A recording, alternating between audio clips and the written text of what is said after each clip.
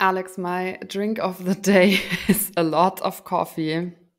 Why that? I really have have to let it carry me through the episode. I think at some point I will definitely stop drinking. I feel it. I feel it on the horizon that I'm not ready anymore to get through this roller coaster of dopamine rush and bad feelings the next day just for some for a few hours of drinking alcohol. It's just not worth it for me. So you and drank too much no night. not not even too much. It's just doesn't matter the amount but if i drink just a little bit then my sleep is super bad and I'm sleep deprived. And then I think sleep is my most important resource. and whenever I I didn't sleep a lot, then I like nothing really functions in my body. okay. Sounds not good. Yeah, but that's what this podcast is for. To also go on our own journey of becoming so more sober, curious than we've been in the in the beginning when we started it. And this is actually a really interesting transition to what we're going to speak about today because we are also going to have a look at what happens exactly in the brain when you drink. This dopamine rush that is something total logical, totally, totally logical. And what else do we have? Uh, we will talk about the different definitions of alcohol free in some countries and the problems that might come, come along with that. And in the end, we will not only have one drink of the week, we will have a whole section talking about wine and food pairing. Oh, so, yes. Have fun. Have fun.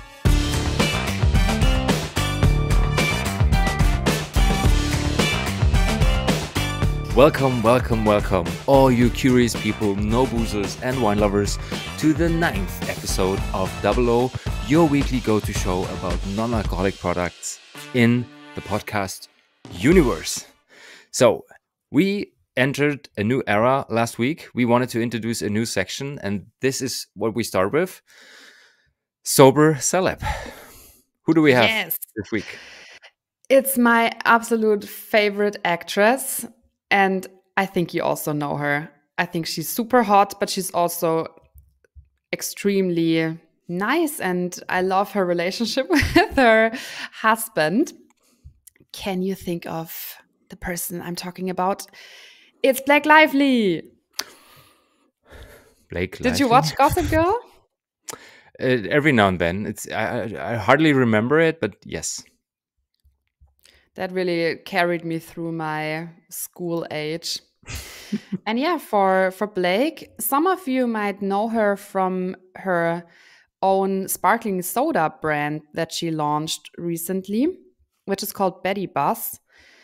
And for Blake, she never really started drinking, so she didn't really have to give up on drinking.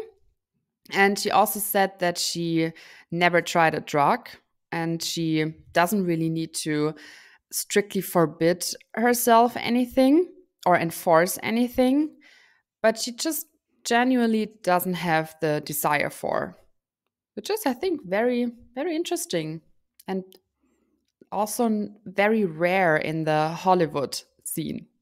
Do you think she gets high on Ryan Reynolds?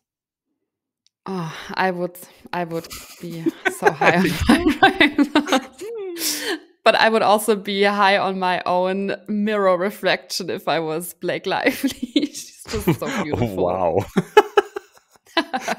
okay, That's my girl crush. Yeah. Speaking about Gossip Girl, Alex, I have some some questions for you, like mm -hmm. this and that questions. Are you team New York or team LA? For the people watching, this question seems a bit stupid, probably because I'm wearing a New York Knicks hat. I'm definitely Team New York. Okay. Are you a dreamer or a realist? Realist. Do I have to decide whether to go left or right? Or does it depend Mm, on? the tendency.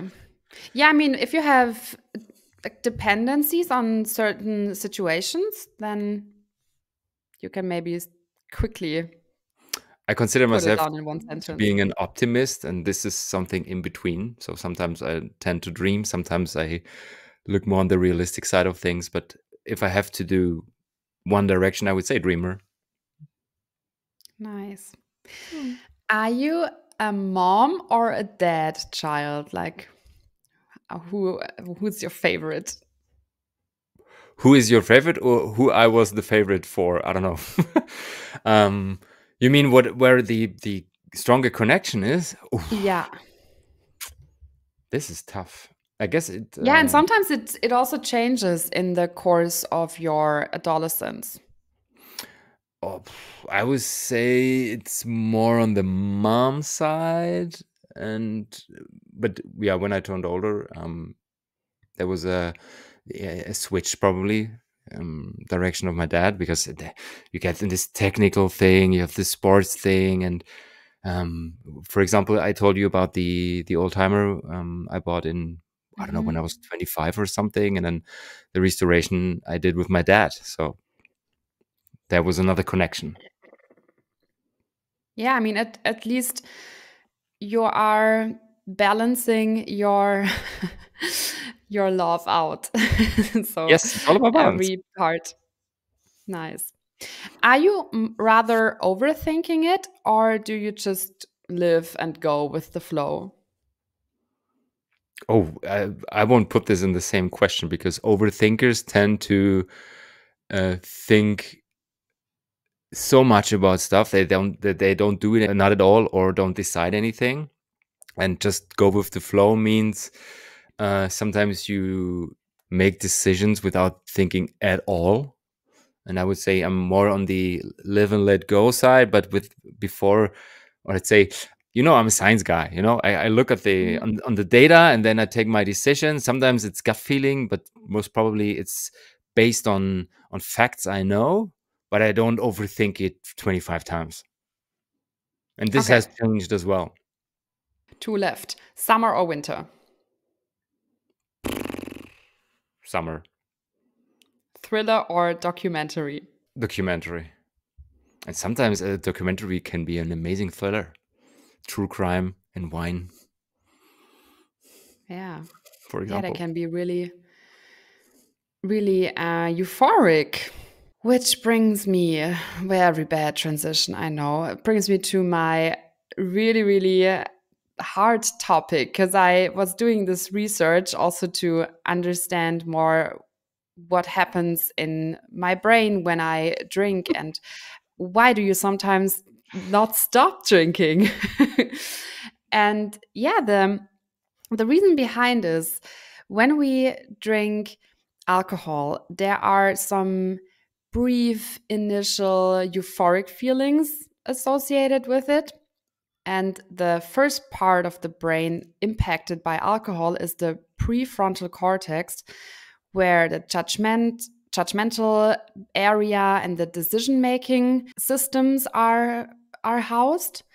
And alcohol artificially stimulates the brain's reward center, causing the dopamine response that creates a desire and a need for the substance. So you want more and more and more because it's like a reward. You, you are getting positive feelings from it.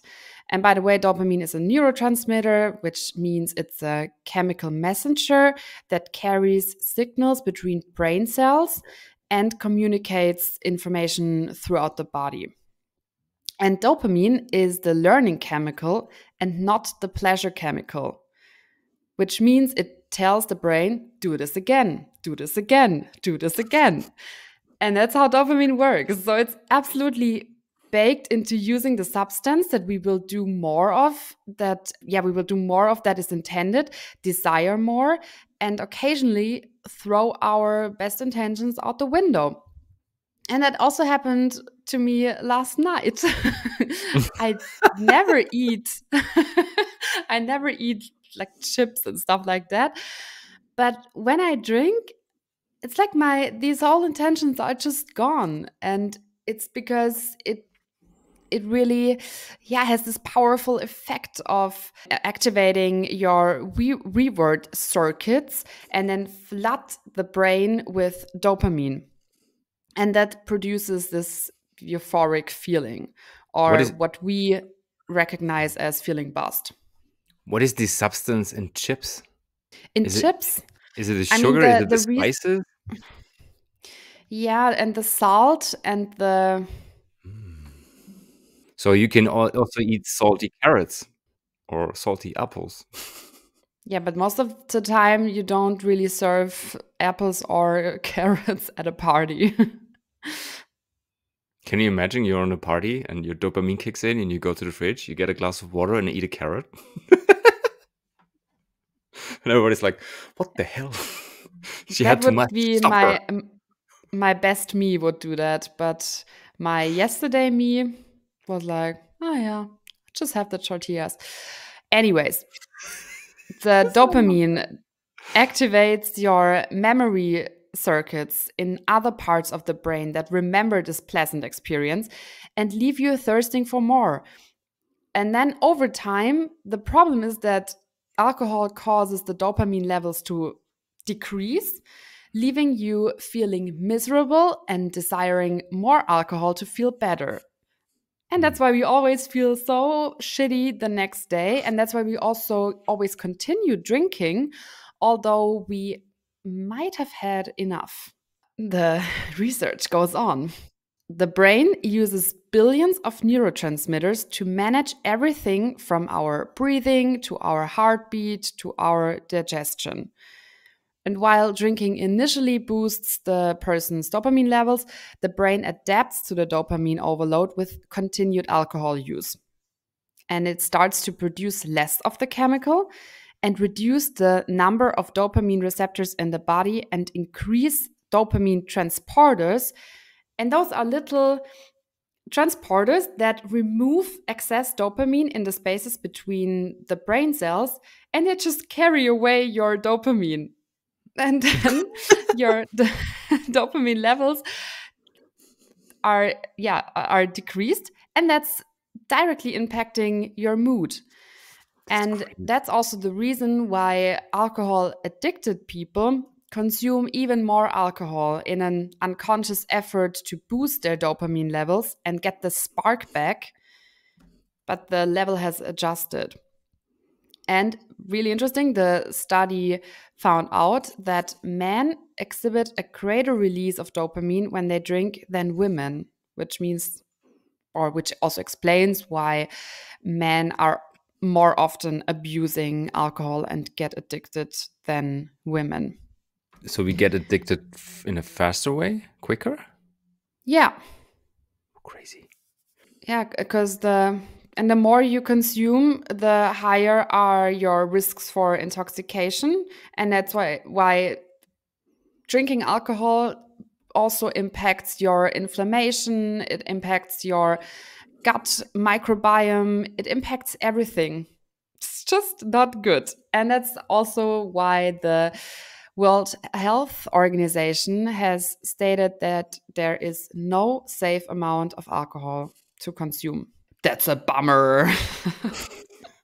Basically, it was when it, this came out in 2023. It was uh, it was in every news, and it was it was quoted in many many studies as well, of course. But also, it's I mean, it's not just talking about alcohol. Alcohol is not just a substance. I mean, it's it's a part of a cultural movement of culture. I sat together with some friends last night, and just this I, I was drinking the rosé from Moderato, and, and, and, in one minute they realized, that, is this alcohol free? And I said, yes. But why? Then you can just drink grape juice. And then I always answer the same. I say, this is what they all say. and then yeah, the interesting thing is when you when you keep on talking to them, you realize that most of them they claim they don't drink alcohol for for the booze, for the for the buzzy feeling. They drink it for the taste. But in the end, when you say, okay, let's say it tastes totally the same without the alcohol, I won't drink it. Yeah. People really love to lie to themselves and love to see it as a as a cultural heritage, which it Yep. is, but it's also a cultural heritage for specific reasons, and we shouldn't ignore that.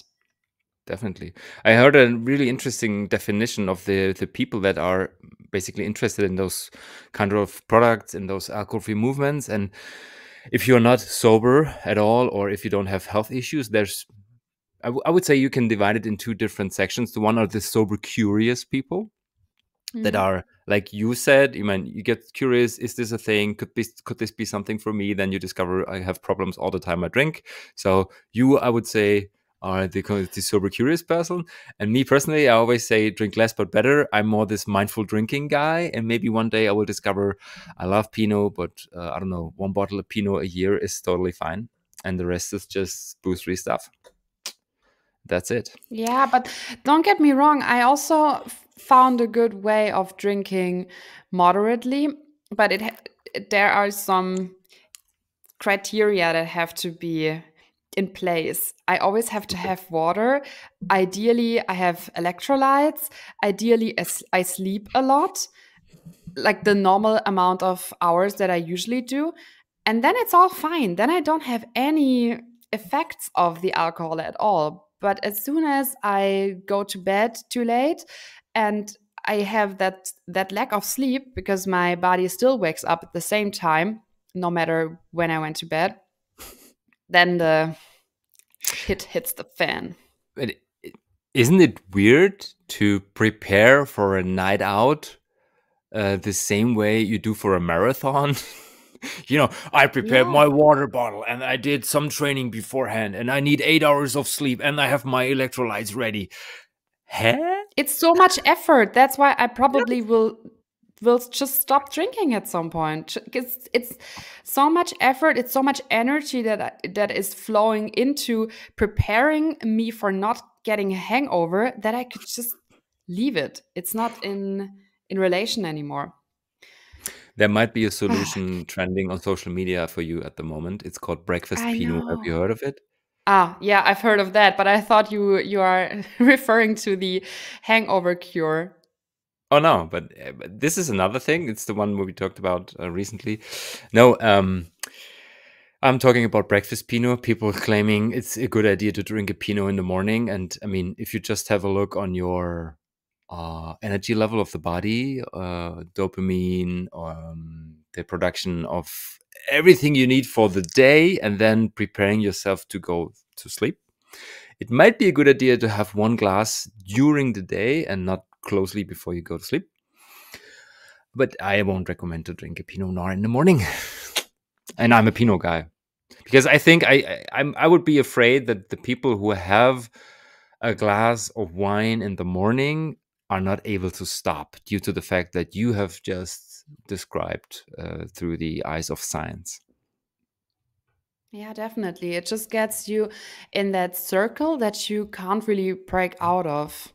And I mean, we've all done boozy brunches and stuff like that, but eventually you either you go out and go to a festival or, or something, so you your energy level is naturally high. But if you were to go home after a boozy brunch, you would probably just lay down because your your Yeah. energy level is The people go and the energy leaves with them. Yeah. Oh, I have my electrolytes, but well done. Okay, talking about intoxication, I read some interesting stuff the last couple of days, and it was all about the question is it a good idea to drink alcohol free stuff when you have specific I, I would call it issues so health issues or you, you're just pregnant or you're the driver or some stuff like that. And what does alcohol free really mean? And we talked about this article from what was it? From belgium i guess where the brewer stated we need stricter rules because there is beer sold in in belgium that is stated as alcohol free but it's from different countries and their interpretation is totally different and just to give you two numbers Netherlands.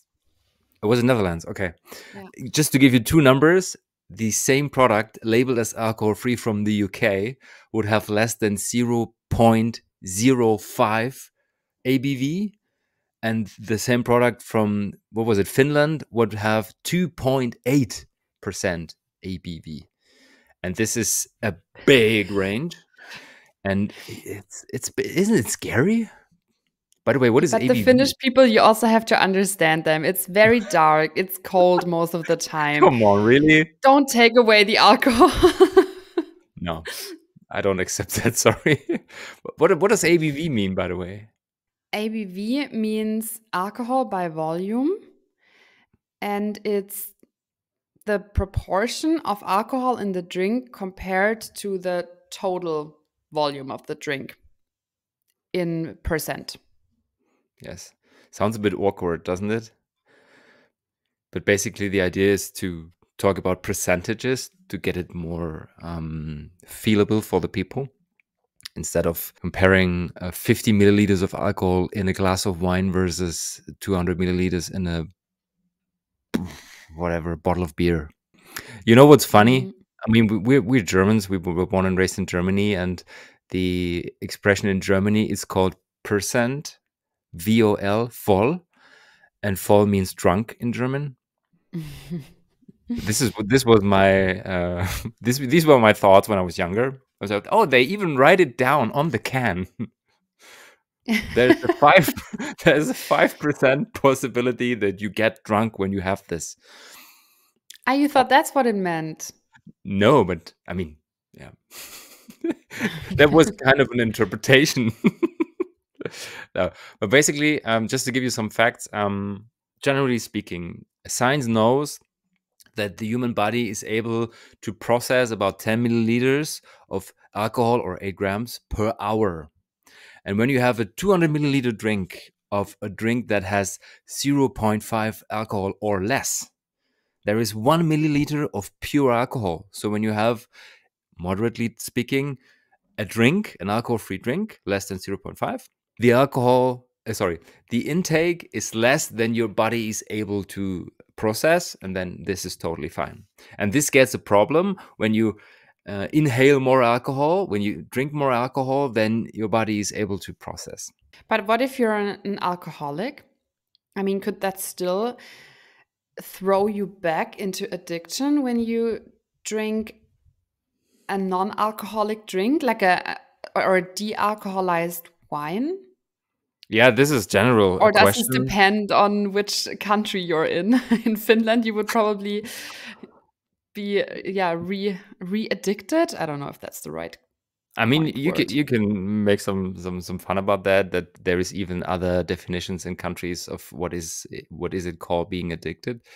Uh, what is it like being addicted? But generally speaking, when the process is happening you just described and your dopamine kicks in and your body thinks this is good give me more give me more give me more and then your level is um, influenced and um, you have this feeling the interesting thing is you know that this is wrong but your body tells you give me more because i like it i want it and you also know that there is intoxication um, but you accept it because you say once at a time this is totally fine and I mean, we've all been younger, and you said you had your, what was it? Boozy brunches. I've never had that. but I mean, maybe we, it's we a met once thing. a year to go on a walk and just have beers after beers. So, yeah, basically as you said we we grew up our our generation generation y millennials they grew up with alcohol being part of their culture. And this is changing gen z because there is so many people that have never drunk any alcohol and this will continue in the future and this will change the whole mindset. And if you are addicted or if you have health issues with um, with alcohol or you're just pregnant uh, of course you on the one hand have to consider your doctor. Please always consider your doctor on the other hand, there is always people saying if it's less than 0.5, it's considered to be okay, at least through the eyes of health, of science. But on the other hand, there's also this psychological effects, especially when you were addicted and you try to become sober. It could be a trigger. You have the smell, you have the, the look and feel is always the same. I mean, we need the look and feel of a wine bottle to sell this stuff as de-alcoholized wine because if we put it in cans nobody would buy it and this can also trigger it's it is what it is unfortunately and um i mean when when you know that uh, for example, bananas or even baby porridge has sometimes has due to the fact how it's how it's manufactured more alcohol because it's some parts ferment uh, than uh, an alcohol-free wine. Your mindset might change. There's an interesting list that is published every, I don't know, three to five years from the Ministry of Health in Germany, where they list all the substances, all the fruits and beverages that have that contain alcohol sometimes by not by definition or on purpose, just because of the the manufacturing. And the list is so funny. I mean, of of course, it's fruits, it's ripe fruits, kiwis, bananas. Baby porridge surprised me a lot. Um, soy sauce, rice. It's super interesting and sometimes scary at the same time. Yeah, isn't it the same with sulfites? that everyone's always complaining that the sulfites in the alcohol is what causes the headache. Whereas in, I think it's ketchup and it's a lot of sodas, they, they also contain, we, we should maybe double check that, but I'm having this half knowledge here. They also contain so much, so, so many sulfites that it's way worse than drinking a glass of wine. It is, and in my in terms of sulfites, the, the, depending on the drinks. Uh, I mean, for example, many of us know these dried fruits you can buy. Um, I don't know in, in, in, bags from from there's this German brand Seeberger, but I guess it's available in other countries as well. So dried peaches, and the sulfur level is five to ten x higher than a normal drink that has mm. a normal wine that has been, let's say, handcrafted, especially when you go to this low intervention area. Um, and there's also studies that show that you can also get headaches of a lower sulfur level because sulfur is responsible or is added for microbiological stability. And if this mm. is not the case, you might get headaches. It is what it is. Yeah. So, so what's the general rule in the EU or in Europe or? Actually, it's worldwide. Um, when when people talk about um, alcohol free worldwide, they base on this scientific fact I just mentioned that 0.5 means too few alcohol to get your liver in problems.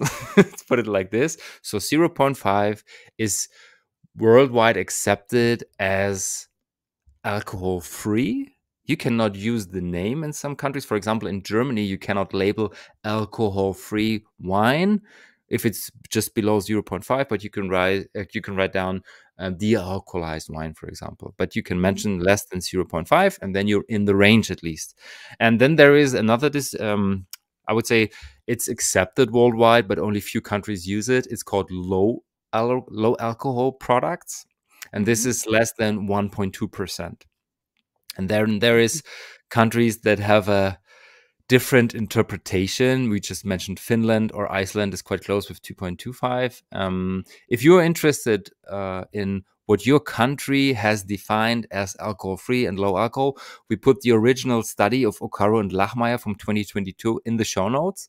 Super interesting because almost nothing has changed. So if you look it up, there's, I guess, two or three changes in total worldwide. And this is the current list. Put it in the show notes. Um, Canada 0.4 is a bit lower. Uh, also interesting, UK is 0.05, but there is a lot of discussions going on at the moment because they will change it. And you know what? It's not about the health issue behind, but it's about what marketing, what sales, what brand possibilities are available, will be available in the market, revenue based, um, if you just put it up to 0.5 doesn't it also uh, have to do something with the taxes? Or the, or the not at that level. Or... Not, not okay. at that level. Um, I mean, there is um, there is taxes and stuff, and especially when you have countries such as Germany, where is the tax system is a bit more difficult, especially when we talk about sparkling wines.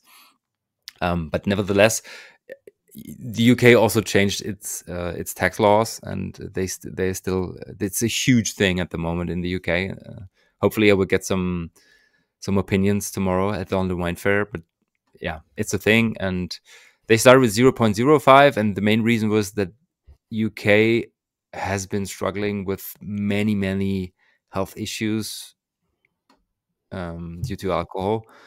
Uh, they set it to 0.5, 0 point no 0.05 sorry 0.05 and um, they will probably change it to 0.5 what is also interesting is there is a level 0.5 in the netherlands but this is just for every drink except beer. For beer alcohol free is 1 point, uh, 0.1 and lower. I don't know what the reason is for that. Maybe they they are a beer country and they just want to give more awareness. I don't know but this was super funny and interesting to me at the same time.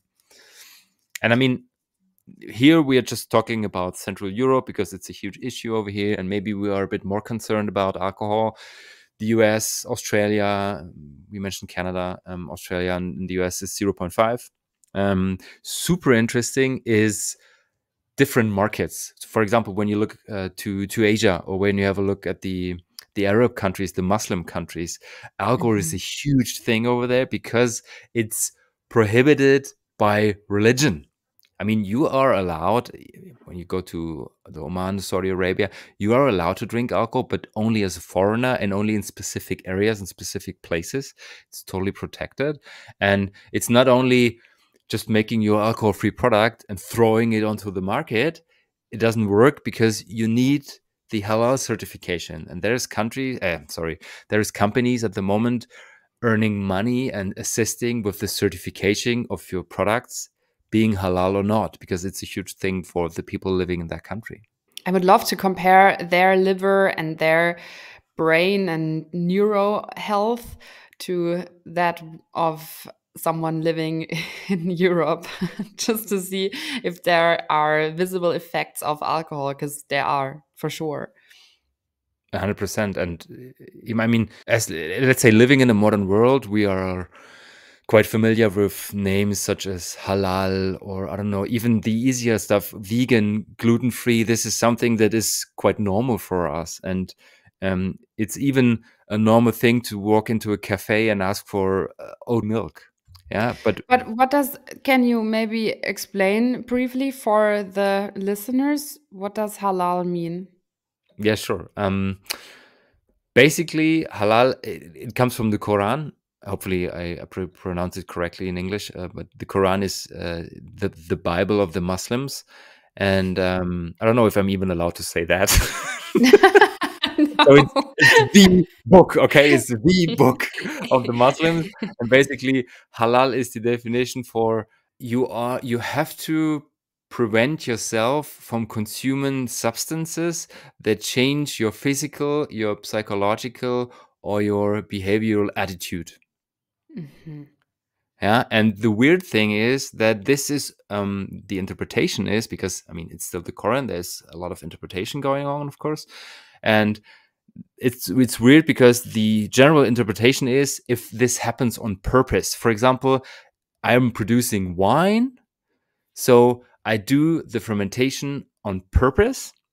This means this product, the final product, the wine is intoxicated. But for example, when I have bananas and I just leave them on the table for a week or two, and then after two weeks they look like I don't know a brown sausage, they have, I would say, 0.5 to 0.8 of alcohol, you will be still allowed to eat that. Because what it about yogurt?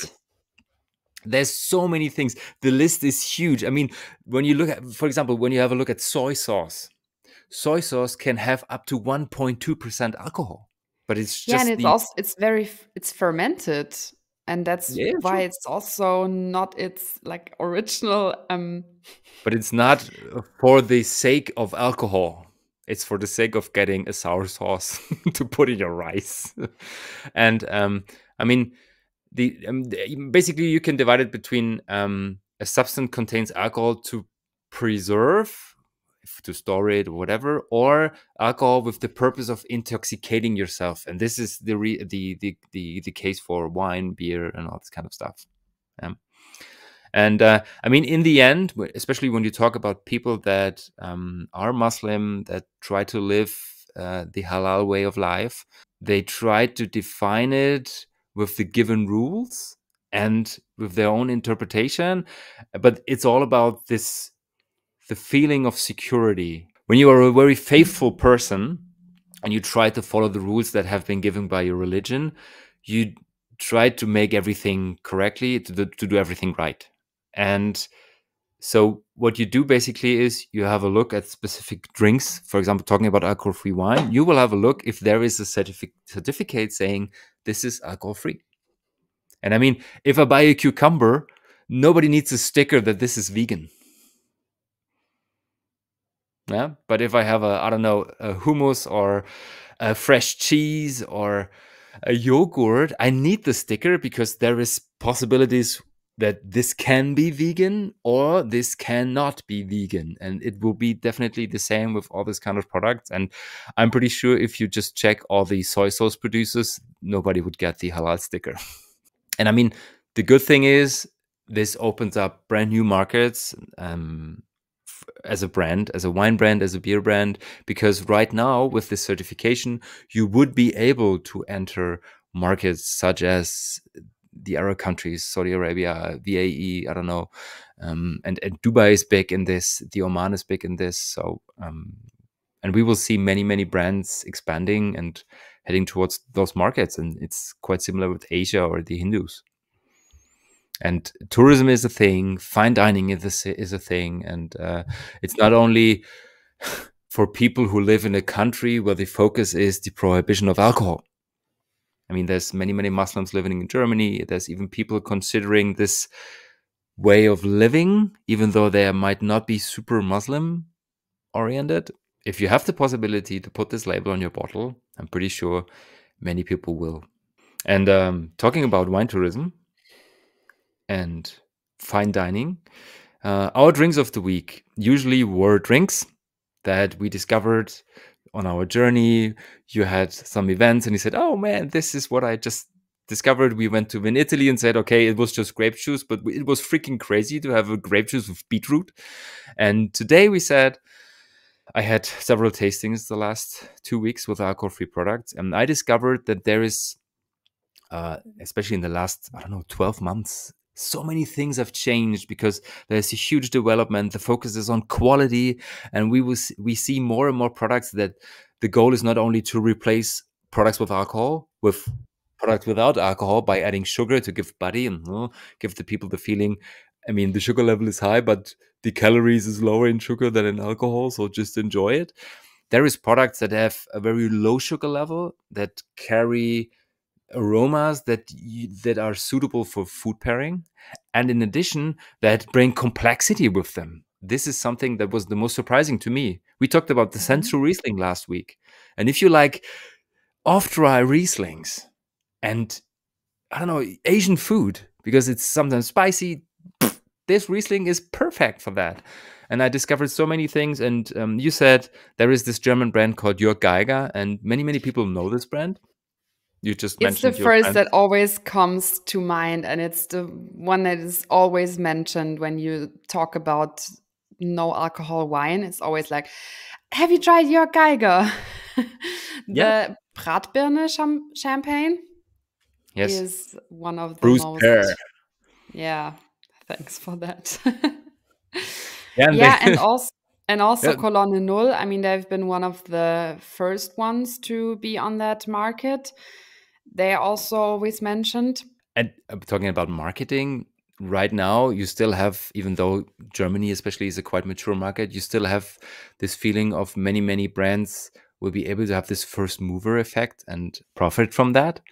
And Jörg Geiger did um, an amazing job in the last 10 years building his brand. Um, he, he, he built up a, a, a, huge company and he was able to build or to buy his own cologne last year. So he has his own dealcoholization machine right now because he has over 2 million bottles a year.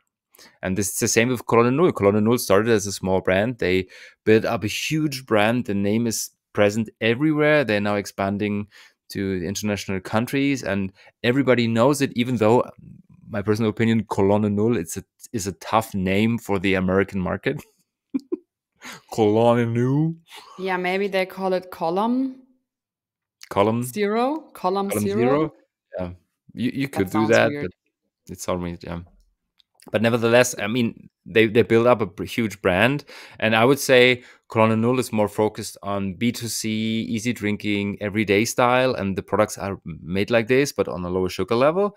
And Jörg Geiger, for example, is more focused on gastronomy, wine and food pairing, because his products not only have wine as a base product, they also have natural aromas added. So what you get is super aromatic drinks. For example, I have I have one here uh, which one is it? It's called 33. And basically, the, the base is Pinot Meunier.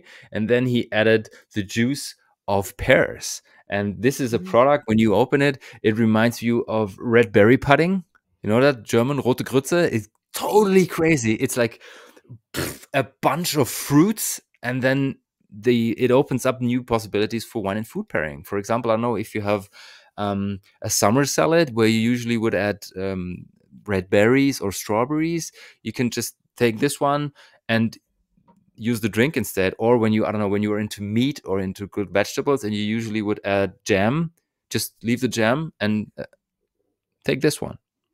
Yeah. And you talked about yeah, these. Sometimes it can be even better than a than a regular wine. It, different. I mean, it's tough to dis- uh, to to compare, but I would say it's it's a different feeling. It's a different experience. Um, and um, you talked about the the champagne Bratbirne. Uh, two things to that. On the one on the one hand, he's not uh, allowed to call it champagne anymore. So oh. you can see C point Bratbirne because champagne is protected. Um, and basically, what it is, super interesting product, by the way.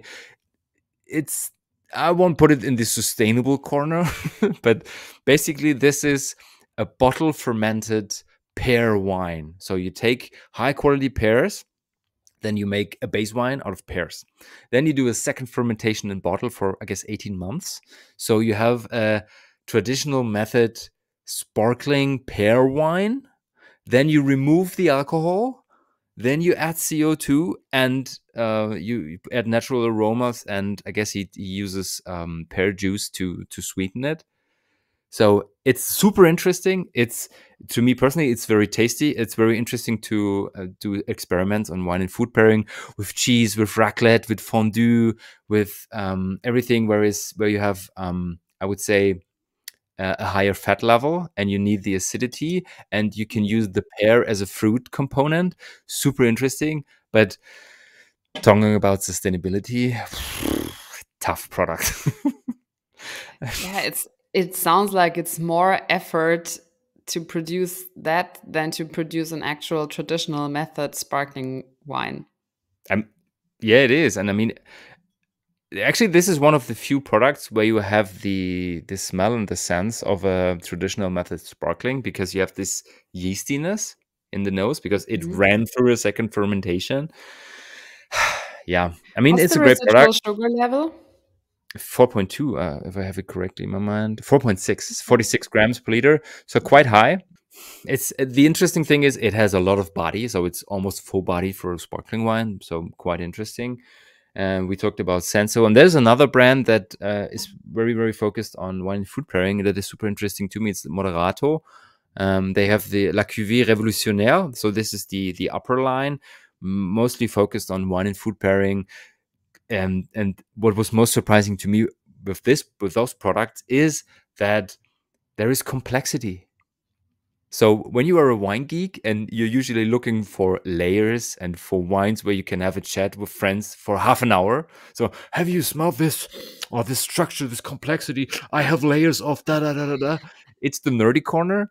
But yeah. with those kind of products, this is able uh, this is available so, so you, you, this is possible you can do that and i like that and for wine and food pairing um, i have the the white over here it's a Colombard and yesterday uh, i cooked uh, asparagus perfect it was just perfect. It has this herbal, uh, herbal, herbalness, herbs, uh, green fruit, Herbiness? Oh god. herbiness. Herbiness sounds a bit awkward.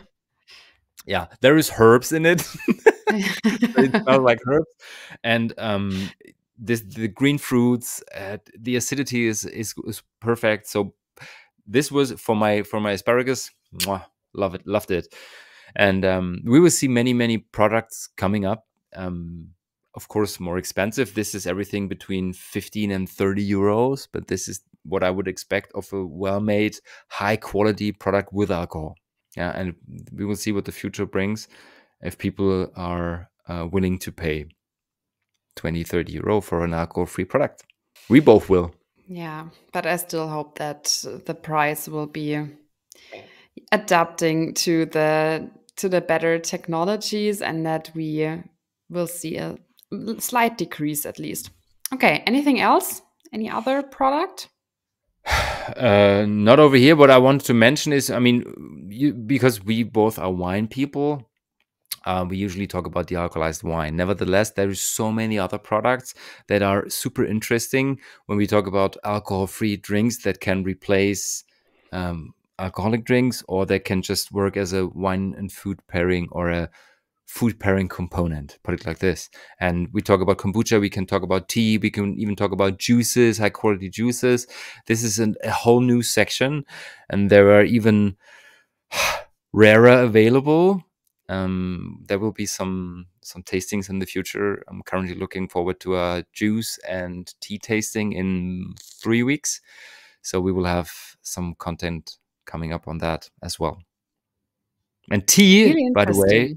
Has only very very low levels of alcohol or has never had any alcohol. And this is what it makes it more interesting as well because it can bring the complexity due to the components to the uh, the herbals uh, the herbs you use the botanicals.